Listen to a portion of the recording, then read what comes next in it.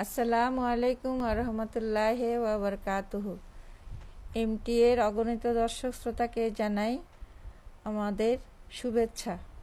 শুধু দর্শক মণ্ডলী আমরা আজকে হজরত খলিফাতুল মসি সানি রাজি আল্লাহ তালা আনুর বই তালুক বিল্লার উপরে আলোচনা ঠিক নয়। ওনার যে বক্তৃতাটা ছিল সেটা ধারাবাহিকভাবে প্রচার করার ইচ্ছা পোষণ করে আমরা শুরু করেছি। ইতিপূর্বে ইতিপূর্বে আমাদের কিছু অংশ ধারণ করা হয়েছে। আজকে আমরা সেই ধারাবাহিকতার মাঝে শুরু করতে যাচ্ছি। যে অংশটুকু, সেটা হলো আল্লাহ তালার সাথে মানুষের কি সম্পর্ক? সেই সম্পর্কে, সম্পর্কটা কি, সেটা জানার জন্যেই আমি মোহতারমা সাদেকা হক সাহেবার কাছে যাচ্ছি। আসসালামু আলাইকুম। ওয়ালাইকুম সালাম। আপনি আমাদেরকে যে বিষয়টি একটু আগে বললাম যে আল্লাহ তালার সাথে যে সম্পর্কটা সেটা সম্পর্কে হজরত খলিফাতুল মসিদ সানি এখানে বিস্তারিত ব্যাপকভাবে আলোচনা করেছেন। তো আপনি আমাদেরকে সেই জিনিসটাই আমাদের দর্শকের জন্য এবং আমাদের জন্য তুলে ধরেন। ধন্যবাদ। ইতিপূর্বে আমরা বক্তৃতার প্রারম্ভে উনি কিছু কথা বলেন, সেটা বলা হয়েছে। আজকে আমরা যাচ্ছি, উনি বলছেন যে আমি এখন আমার মূল বক্তব্য, মূল বক্তৃতার বিষয়বস্তুর মাঝে যাচ্ছি। এবং আমার বিষয়বস্তু হইল তাল্লুকে বিল্লাহ, আল্লাহর সাথে বান্দার সম্পর্ক, মানুষের সম্পর্ক। তো উনি এখানে বলতে গিয়ে বলছেন যে, কিছুদিন পূর্বে আমার এক বন্ধু আমাকে কিছুদিন পূর্বে আমি আমার একটা খুদ্ায় বলছি যে আমার কাছে অনেক বন্ধু আসে। যারা আসে, আমার কাছে আসলেই বলে যে দোয়া করেন। একজন কেউ আইসা বলে দোয়া করেন, আমার ছেলে নাই, একটা ছেলে যেন হয়ে যায়। কেউ আইসা বলে যে আমার স্ত্রী অসুস্থ, দোয়া করেন, আমার স্ত্রী সুস্থ হয়ে যাক। কেউ আইসা বলে দোয়া করেন, আমি তো বিয়ে করতে পারি নাই, আমি যেন একটা ভালো স্ত্রী পাই। কেউ বলে দোয়া করেন, আমার স্ত্রীর সাথে ঝগড়া চলতেছে, ঝগড়ার যেন মীমাংসা হয়ে যায়। তাতে যেন একটা মীমাংসা সৃষ্টি হয়। কেউ আইসা বলে, দোয়া করেন, আমার কোনো চাকরি নাই, আল্লাহ যেন আমাকে একটা চাকরি মিলাই দেয়। কেউ আইসা বলে, আমার চাকরিতে যেন উন্নতি হয়, এই জন্য দোয়া করেন।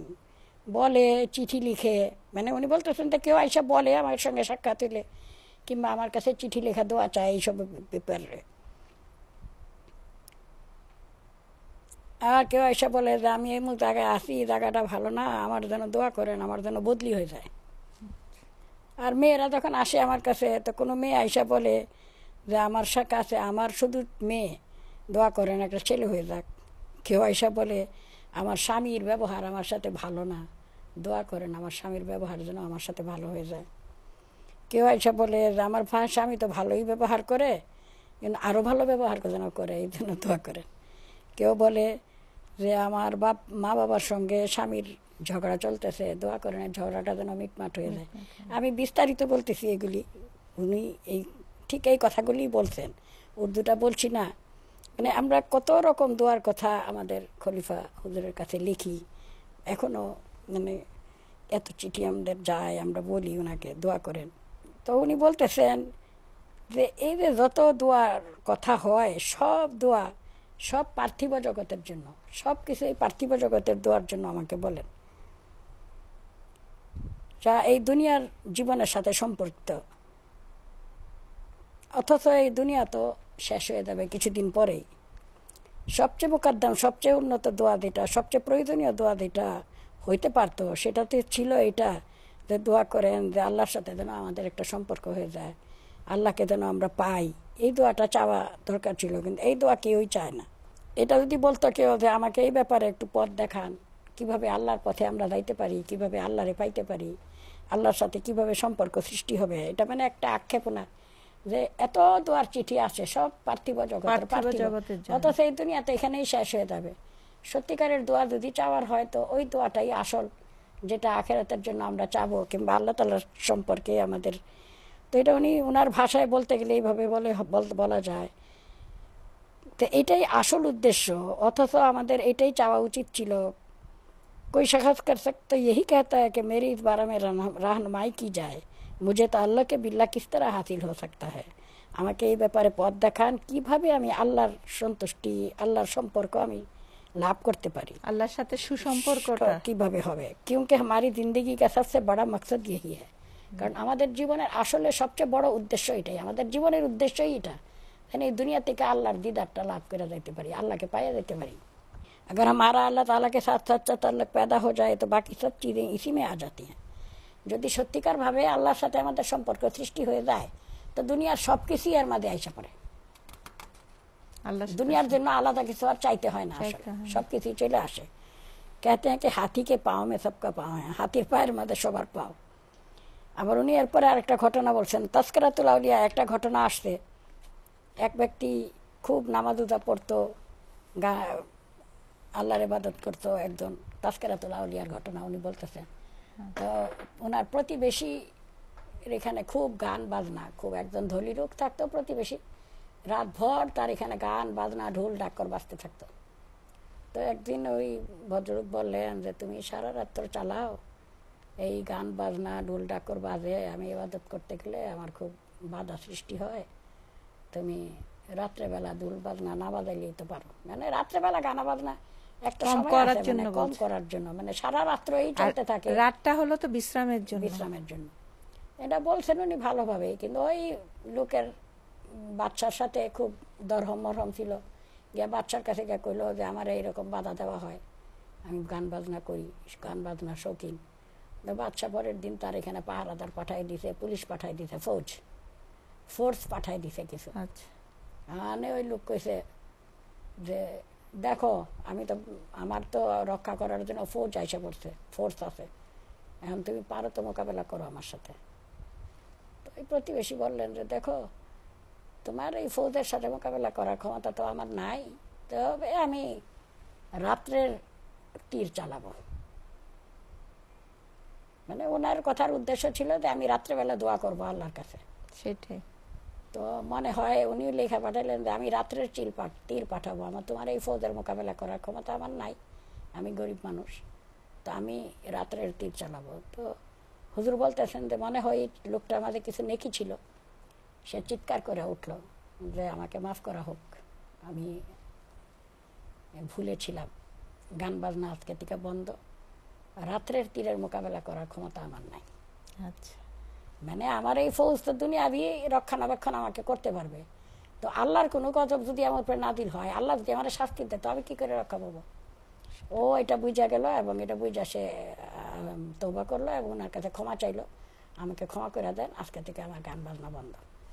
এইটা, এই ঘটনাটা বইলা উনি তো বলতেছেন যে বাচ্চার তো সবচেয়ে শক্তি থাকে, কিন্তু যেই মানুষের সম্পর্ক আল্লাহর সাথে হয়ে যায়, যেই মানুষ আল্লাহর প্রিয় হয়ে যায়, সেই মানুষের সাথে মোকাবেলা করার সারা দুনিয়ার কি শক্তি আছে?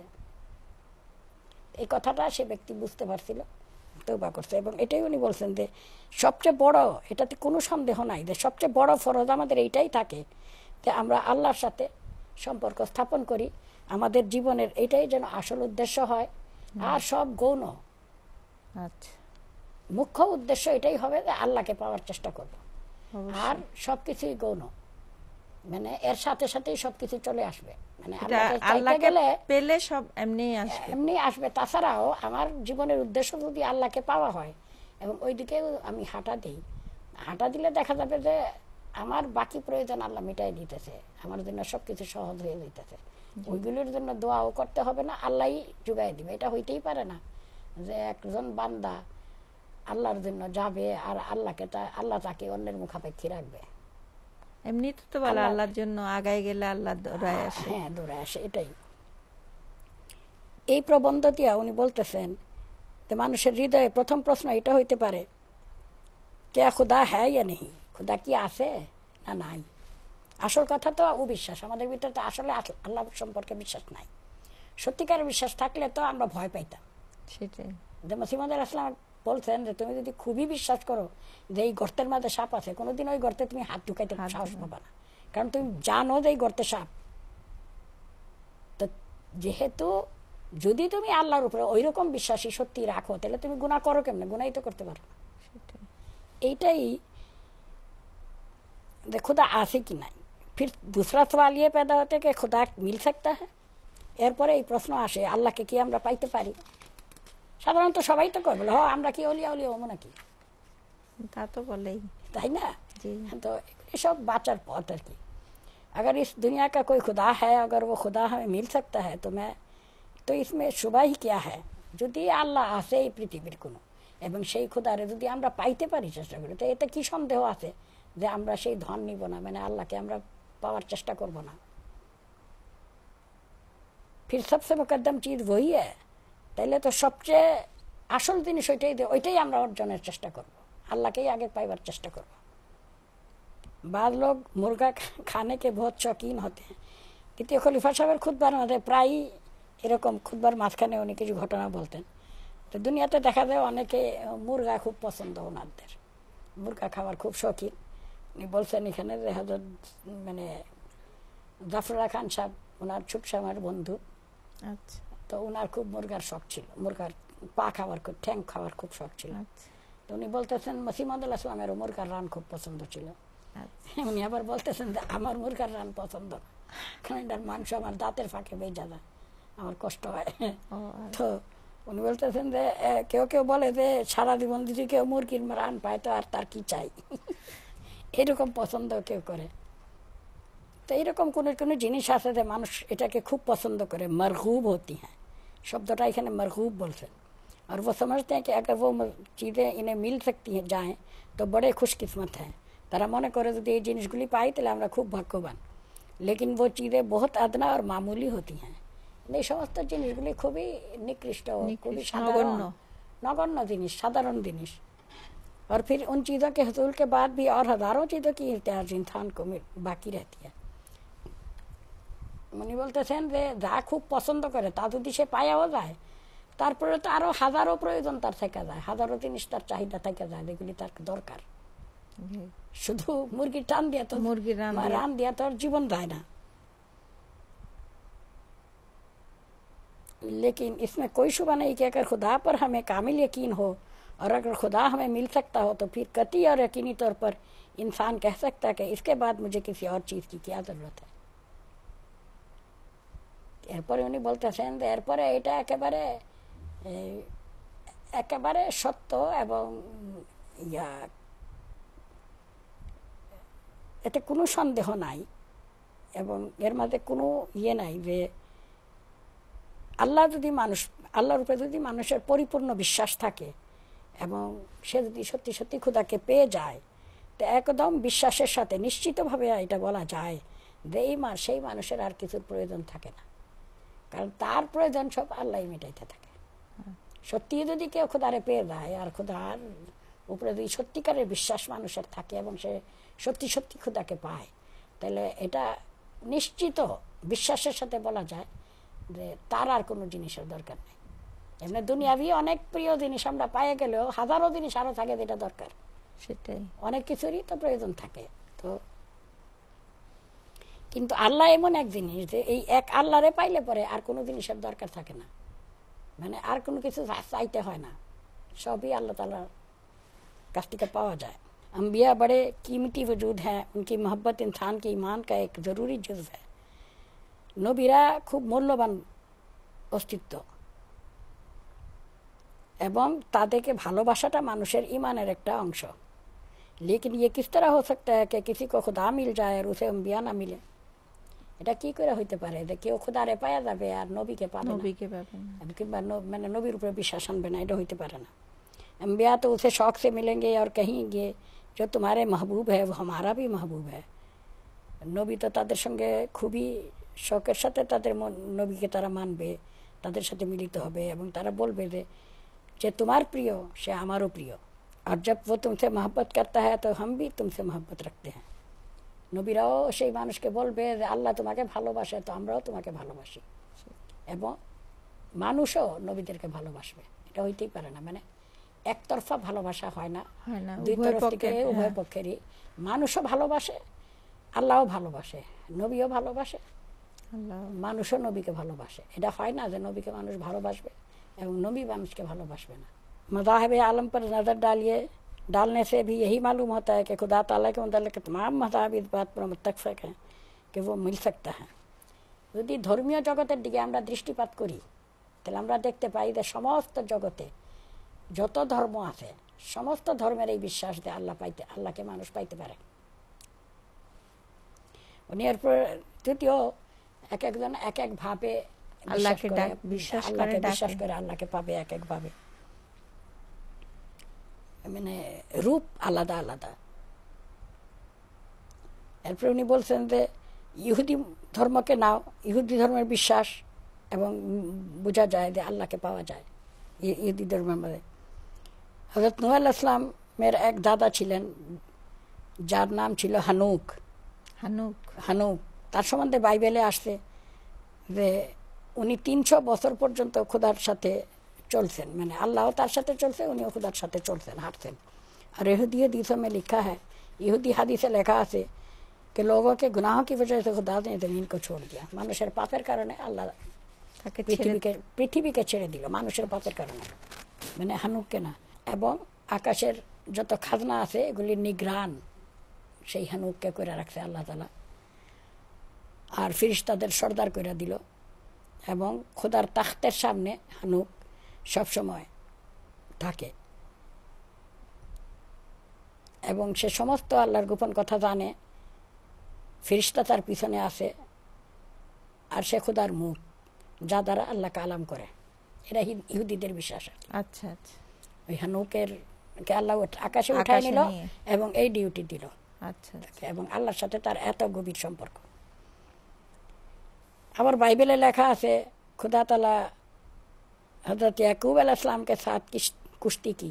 বাইবেলে একটা ঘটনা আছে যে হজরত ইয়াকুব আল ইসলামের সাথে আল্লাহ তালার কুস্তি হইল মানে মল্লযুদ্ধ। আচ্ছা। মল্লযুদ্ধ হইল এবং হজরত ইয়াকুব আল ইসলাম আল্লাহ তালারে নিচে ফালাইয়া কুস্তিতে হারাই দিলেন। তো উনি বলছেন যে এটা কোনো আশ্চর্যের ব্যাপার না। এটা একটা কাশফি না যারা দেখুন বাপ মা দুনিয়াতে বাচ্চার সাথে বলে যে আসো যুদ্ধ যুদ্ধ যুদ্ধ খেলে এবং বাচ্চা বাপের ফালাই দিয়া বুকের উপর একটা হাসে আর বলে "এই, আমি তোমার হারাই ফেলাইছি। তেমনি এটা একটা কাশফি না যারা আল্লাহ তাকে ভালোবাসতে তার সাথে তার এমন একটা সুসম্পর্ক এমন একটা কাশ হজরত ইয়াকুব আল ইসলাম দেখতেই পারেন দেখা আচ্ছা, দিতে পারে আচ্ছা। মানে এটা কাশফিনা যারা এবং কাশফের মাঝে দিব্য আল্লাহ দর্শন, নিজেই দিব্য দর্শনে আল্লাহ তালা নিজেই এই দিব্য দর্শন হজরত ইয়াকুব আল ইসলামরা দেখাইছেন। মানে ওনার এত সুসম্পর্ক ছিল আল্লাহর সাথে। এটা সত্য হইতে পারে এটা কোনো বালগা না মানে এটা কাশফিনা যারা আর কি। আচ্ছা। উনি বলছেন যে তেমনি আমি একবার কোনো একটা কাজের জন্য এটা আল্লাহ তালার উনি বলছেন